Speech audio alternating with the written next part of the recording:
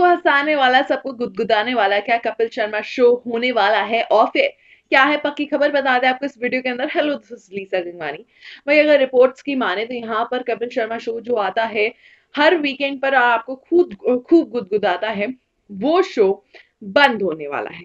अब क्यों बंद होने वाला है? क्या है वजह? तो ये तो अभी तक क्लियर नहीं हो पाई है कि आखिर ये ऑफ़र क्यों जा रहा है।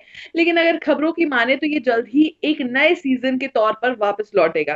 भाई, ये सीज़न जो है दोबारा शुरू हुआ था लॉकडाउन के बाद तो सभी ने इसको बहुत पसंद किया था। बहुत अच्छी रेटिंग्स मिल रही थी कपिल शर्मा शो को। इनफैक्ट कपिल शर्मा जो है नॉन फिक्शनल कैरेक्टर में नंबर वन आ गए थे और मैक्स की लिस्ट के अकॉर्डिंग तो ऐसे में कपिल शर्मा को हमेशा से बहुत सारा प्यार मिला है। उनके शो को हमेशा से बहुत सारा प्यार मिला है तो शायद इस बार वो कॉन्सेप्ट चेंज करना चाहते हैं, नए सीज़न में नए एडिशन के साथ शो को वापस लाने की तैयारी कर रहे हैं, इसलिए इस बार का सीज़न जो है ऑफ़ एयर होने वाला है। इसके साथ ही हम आपको बता दें नेटफ्लिक्स के साथ एसोसिएशन भी हो चुका है, कपिल शर्मा का जल्द ही किसी सीरीज़ में भी नज़र आने वाले हैं तो हो सकता है कपिल वहाँ पर बिज़ी होने वाले हो, इस वजह से हो रहा हो शो ऑफ़ एयर लेकिन खबर तो यही है कि जल्द ही ऑफ़ एयर होगा कपिल शर्मा शो और शायद नए सीज़न के साथ लौट सकता है। क्या कहना चाहेंगे आप इस बड़ी खबर के बारे में?